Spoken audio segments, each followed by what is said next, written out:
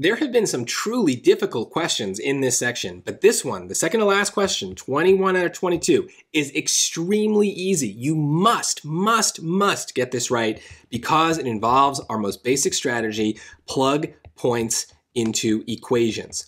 And that's obvious. Now, first of all, we clearly have equations, right? Look at the answer choices. They're equations, so we would be looking for points.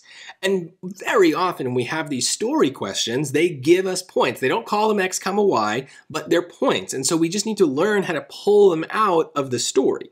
The most obvious point to me is this one.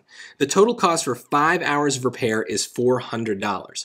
So x is the number of hours, and we're supposed to get out 400. That's that's literally as simple as it gets in my mind of how they're going to give you a point. So why don't we just try that? Let's plug in 5 for x and see if we get 400. So 60 times 5 plus 100. Well, 60 times 5 is 300. 300 plus 100 is 400. So that looks good. Now, it might not be right. There might be multiple answers here that give us the right thing. So we gotta we gotta double check. But let's go down the line. 60 times 5 plus 220. Well, that's again 300, but now plus 220 is 520. So that's not 400, so that's wrong. 80 times 5 though, well, that is 400. So that works too. I expected this. This is the second to last question, so it wasn't gonna be that easy, but that's okay because now we can still eliminate um, choice D because 400 plus 220 is 620. So that's right away two choices that are wrong. Now I would love to use another point, and very often when we do these questions, the, the point that is best is the zero point, the starting point. But this story is a little quirky, right? It says they charge 220 for the first two hours of repair and then an hourly fee for each additional hour.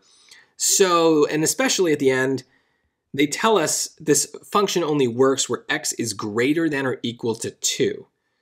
So we can't choose 0. It's telling us that 0 is out of the range for these particular um, uh, uh, equations. But two is fair game, right? I mean, they tell us it's 220 for the first two hours. So that also is a point, right? That's the point 2, 220. So we already got rid of B and D. Let's just try A and C over again. So A would be 60 times 2 plus 100. Well, 60 times 2 is 120, plus 100 is 220, so that looks good. And then trying C, 80 times 2, oh, that's 160. Not what I want. So there you go. A is the answer.